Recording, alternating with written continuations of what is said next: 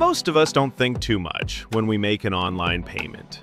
Enter your card number, expiry, CVV, you hit pay, and suddenly you get an OTP on your phone. You enter it, and that's it. Payment successful.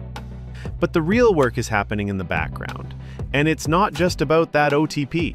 So let's walk through what actually happens, in the simplest way. When you hit that submit button, after filling your card details, your details go from the website to the merchant's payment gateway, but they don't go directly to your bank. There's a middle route. The request first goes to a 3DS server, and then to something called a directory server, which is usually run by Visa, MasterCard, or whichever network your card belongs to. Then your bank receives this request and pauses for a second to check. Do I need to challenge this user? That's the first check, and it's officially called the authentication request. If your bank decides that this payment needs extra security, it shows you an OTP screen, the one we all see almost every time we shop online.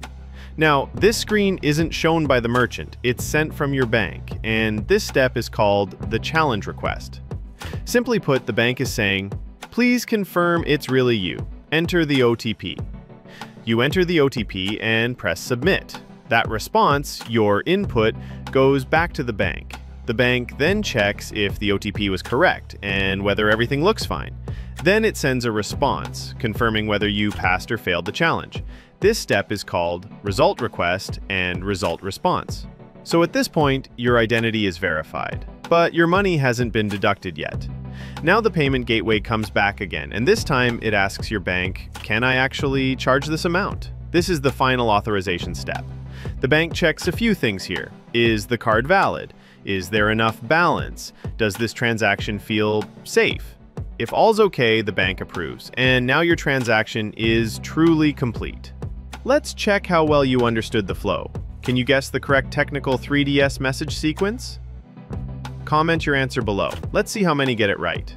If this made things clearer and you want to learn more, we run regular training batches at AllTekkies, live and recorded both. And for anytime help, you can try DomGenie. It's the first AI assistant built only for card and payment topics.